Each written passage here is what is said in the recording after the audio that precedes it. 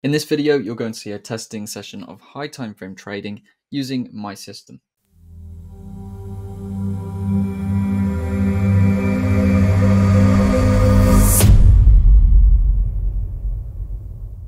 Hello everyone and welcome back to the channel. I hope you're doing well. Every week I drop multiple videos for my trading community and academy members where I backtest the charts and I follow the different systems, my swing trading system, which I used pre-COVID permanently all the time, and then also the low time frame system, which is more so what I trade nowadays as well. So these videos come out all the time, but what I decided to do today was share one with you that I just completed on the high time frames. You'll get a look into my thought processes while I trade, and hopefully that is going to give you an edge in the markets. Until the Monday coming up, you can still join my Discord trading group on a subscription basis. Now, this is a great place to build market experience learn from my work, and get involved with a bunch of other traders, many of which are funded. So if you want to see my processes put into action and also network with a bunch of funded traders and other aspiring traders as well, this is the place to be. Do not join if you are looking for signals, but if you want to progress your career, head over to the link in the description and you can join that now. Hello everyone, welcome back to a backtesting video. This one is going to be high time frame, and what we're going to do is go through all of March from a high time frame perspective, following you know the swing trading approach that I've obviously laid out to you in the course and that a few of you are adopting. So what I'm going to do is head back to the start of the month um, of March. Now I'm actually going to go back a little bit earlier than that so that we can look at weekly timeframes and stuff because if we do skip straight to the 1st of March and then check the weekly, we're obviously going to see all of the price action through the week we want to trade. So let's take it back to, let's just go to the 25th uh, of Feb. So if we go over here now, it's going to be around this point here. Uh, if we then show ourselves price, we don't really need our session indicator for this, so I'm going to leave the charts cleaner. Uh, now what we can do is start breaking down the charts from a high to a low time frame perspective. So looking at the daily there, um, we can see that the market has actually pulled up towards that gap. Uh, this is actually, from looking at the four hour, this is obviously going to be the basis for a trade because we do have here a lower low and we do have that gap. And obviously, as we know, if we do form a gap in the market, when we fill that gap, we will be looking to sell, okay? Or obviously uh, trade the other way. So basically, the way a gap forms is there's been a large movement over the weekend. The market has opened all the way down here instead, because obviously, you know, bearish fundamentals. But because we have this gap, this is treated as a very high probability imbalance. So the idea now would be we could look for a trade like this. So as we saw there on the daily, I'm not going to go to the weekly because that's going to give too much away we have come and traded into this, so I would be anticipating a sell-off based on the fact that we've obviously gapped down, showing a lot of weakness, and we've also broken structure. But while we're on the daily, let's have a look at the larger structure here on Euro USD. Now, as we can see, we've got these higher highs and higher lows. Uh, at this point up here, we've formed this high, higher low, lower high, and then lower lows and lower highs have come in. Now, the one thing that strikes my interest here is obviously this daily zone has now been broken. So this is definitely a significant shift in the market trend.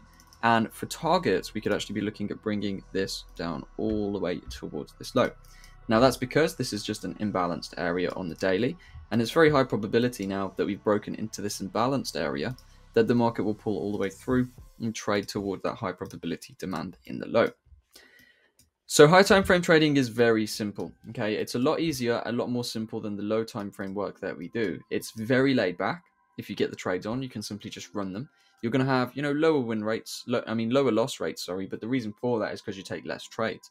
Um, so you hit less losses, there's less stress, less emotional pressure, but it does require a lot of patience. And it's not for everyone. Some people, a lot of people do like to get in and out of the markets quickly. But just know that is actually going to be a more difficult thing to master than the swing trading will be. There's not a whole lot that goes into this past understanding where the market is going to go and then actually trading the market from point A to point B. So covering then what we've been talking about, um, we do have now price breaking down into this imbalance. As we know, we obviously want to target through that imbalance now because we are bearish. We've had lower low, lower high, lower low, equal high, but then we had that dramatic sell off here with the gap. So what we'll be looking for now is simple rollover and then trade down into there. So there's two ways we can approach. We can obviously go with a sell limit straight in. That is an okay thing to do. Now do understand if you do that, you're going to hit less winners because you're obviously going to, you know, well, you may hit more winners to be honest, but you're going to hit more losses as well. Okay. The reason you'd hit more winners is simply because you have obviously more opportunities. You're not going to miss opportunities waiting on confirmation. But you're also going to hit more losses as well because you don't have that confirmation on your side. So this would be a risk entry kind of approach. Obviously, it balances out on its own. We have a 14.2R setup there. Uh, as we can see, this is the lower low. Then we attempted to go back up. We formed this gap. This is the large basis of the trade. We could also see that before this gap formed, we did hit this supply. That's not too much of a concern for me. I'm focusing on the fundamentally driven downside that we obviously had over the weekend to cause this large market gap. So this would be a valid setup and we could go straight from there. You know, we could also look for confirmation trades. We could go from the low of the zone if we wanted to, or the midpoint. The midpoint for four hour and such is normally the best place to go from. Sometimes you'll miss opportunities, but you will get, you know, much better risk reward overall. Uh, this would be okay as well. But sometimes you have to understand when we're looking at four hour zones, the four hour zone is going to be huge and you may end up jumping in with a 70 or you know more pip stop loss which is obviously not ideal when we could cut it down so generally, you know, as I teach, as I trade myself, I would be approaching this from here. Now, obviously, we'll have to see if it does get tapped in, if we do push towards the middle of the four hour zone. And what we'll also do is monitor for a confirmation trade, if this trade is triggered in, and if we do get the confirmation as well. So here we've had a tap into the zone. Now any breakdown from here could be seen as valid. Uh, as you can see, we have this kind of demand zone broken down the all this imbalance is now filled in. So if we did break down in structure here, we could look for shorts, and that would kind of indicate to us that we're probably not going to get retested uh, in on our you know risk entry trade. So this is going to be my next structure point. See if we do break down through there. And now that we've done that, where would we look for shorts? Well, what I would prefer to do here is focus in this whole larger area. We can see we have this hourly supply it's been lightly tested there. Another valid entry would also be this point, of course, which some of you may have seen. Um, I would anticipate, though, that the market's going to make a bit of a deeper pullback. So, you know, maybe something like this, where we just pull a little bit further in to that supply to potentially retest some refined zones in the top of this wick, right? That would give us better risk reward. Uh, the idea here is, you know, we're not going to go too low. We're focusing high time frame only, but this is a clear zone. We've lightly tested it, but we may be due a pullback towards that large wick to retest some extreme areas.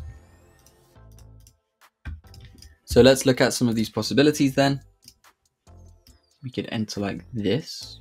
Uh, if we pushed higher into the zone, what we could then do is, you know, approach from a new confirmation perspective. But I do think here, you know, we have these higher highs, higher lows forming. We had a clear higher low here, and now we've broken down through that. So what we can is look for, you know, the immediate trade opportunity that we have. So for this, we can simply target that larger area. We are trading high time frames here. So looking at, you know, 200, 300 pip targets is not uncommon. You know, we're looking for large targets, larger stops, 20 to 40 pips. Uh, and then we just let the, let the things ride in the background, right? They can take weeks to play out. They can take days to play out. You can obviously take partials and trail as you go, but they're very laid back trades, but they do require a lot of patience. So we have opportunity one here from this supply zone. Now there will also be a secondary opportunity from around here. I would probably go with this one, but based on, you know, the logic of this, um, let me just rearrange this one to the midpoint. Based on the logic of this, I'm assuming that many of you may actually opt to take this one, and that is not a wrong move whatsoever. Uh, the reason that I would really want to take this higher one is simply due to my market experience and knowing that, you know, when we get a big push up like this, we are generally going to come and fill some form of refined zone, you know how it goes. We've seen it happen a lot. We get a deeper pullback and then a push down. So from market experience, I would personally probably enter from up there, but this one is also valid and also a very nice trade at 8.5R. So this one may be more realistically the one you would take, and then this one as well. We'll see how it goes for the market experience. So, okay, trade number one is now tagged in. Trade number two is tagged in from the midpoint of the hourly supply. Both trades are now in profit. And let's just see how these things roll. So very fast breakdown, good to see. Now at this point, we'd definitely be going break even on both the positions. So this position here, we would look at a break even. This position here as well, we would certainly look at a break even. What we can do is just let these trades run. Uh, we could obviously look to take some partials now that we'd approached this low. I think maybe somewhere around here would be good. I'm going to go and check four hour and see what we've got going on. If there's going to be any other clear areas for us to take some profits. So let's see how we actually align with this zone, because if we have hit this area, we may want to look at taking some profits on that. Okay, we've actually pierced that area. So this is where the patience aspect comes in. Uh, and at this point, we can obviously look to take some form of partials on the move, uh, or we could just hold it all the way down.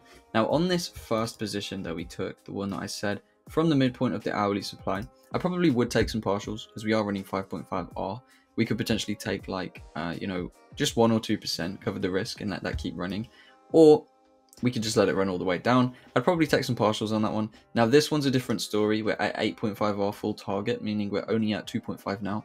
There would be no reason to take partials there for me. That's not enough profit. Uh, and this is where that patience really does play a part in these swing trades because you do need to be able to hold trades, you know, long term without worrying about them reversing on. And you have to understand that when we take a trade like this, it is a high probability setup, right? We're following the trend here, looking to take this down towards that major target. So on the same way we would approach a, a small time frame trade, we don't always look to take partials really quick because the trade's going to play out quickly.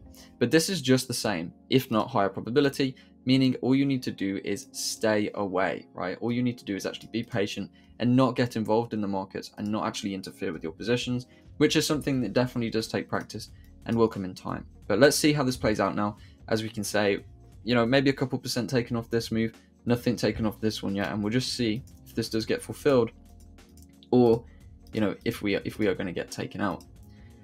So at this point we are break even, so there's no risk on the positions anyway. Um, now as it looks right now, we have actually formed a new lower low. So if we consider the trend since we got in, we have high, lower low, lower high, lower low. This is the point where we could look at possible trailing.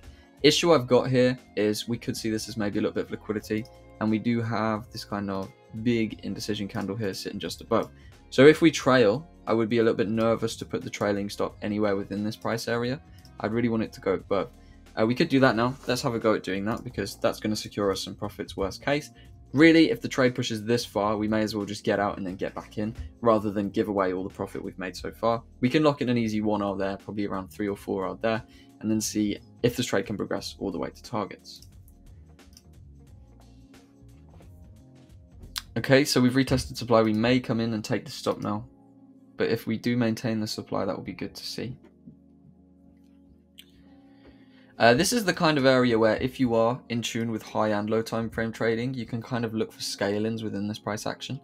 But, you know, I'm just going to focus on high time frame for now and see if we can go and uh, fulfill that target. And there we go. Very nice. So easy, first setup, nice 8.5R or 17R profit depending on your entry choice, whether you entered from this one hour supply, which is not bad at all, or if you, you know, used your market experience of refined entries to go with a slightly higher entry, a little bit more discretionary and a little bit more thought going into that trade as well. But as you can see, very simple stuff. We don't have to worry about noise. We don't have to worry about, you know, choppy action throughout the day. When we're looking at high time frame trades, we can simply find out on the daily and weekly what's our direction and then place our orders and trade to and from those areas. So it's very simple um, and, and, you know, pretty nice, pretty easy to put into action.